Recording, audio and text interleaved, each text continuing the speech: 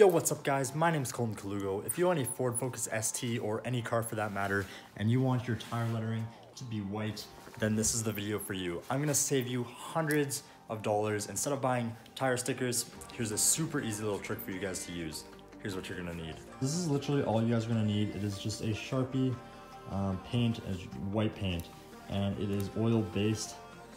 These things are super cheap. I think you can get them on Amazon for like two for like $10. Super cheap.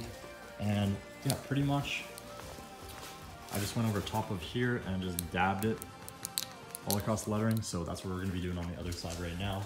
Probably won't show you all four rims. Oh man, the lighting's gonna be kind of bad on this. Anyways, so right here, you're literally just going to dab it into place.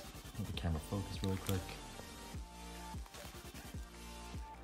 Just dab it into place like so and just go around the tires. If you draw like this, it's not gonna be as smooth. As you can see right there, it's not as good as the dots. The dots you can get way more precision out of it, I guess. So I'm gonna finish up this tire and then I will show you how it looks. Yeah, pretty much just keep dabbing it and just do the outline of the whole letter. And yeah, I do not know why my camera's not focusing. Now that I have the actual light right here, as you can see, I got the T all done and it looks pretty decent in most places. You don't have to be too precise with it because people aren't gonna be looking at it from up close. And yeah, so I'm on the O right now. And once again, just keep dabbing it. And on these actual pens, if you go a little bit harder, it will bring more paint up to the surface so it will be easier to paint.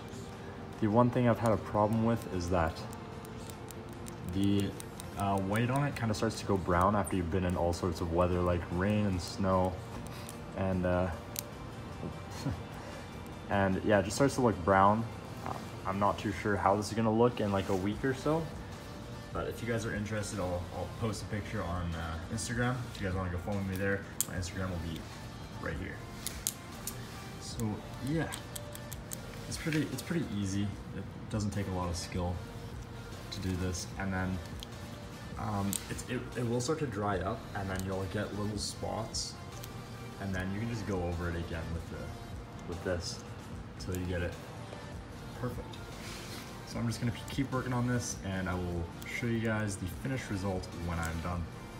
All right so here is the tire lettering complete and it looks pretty decent.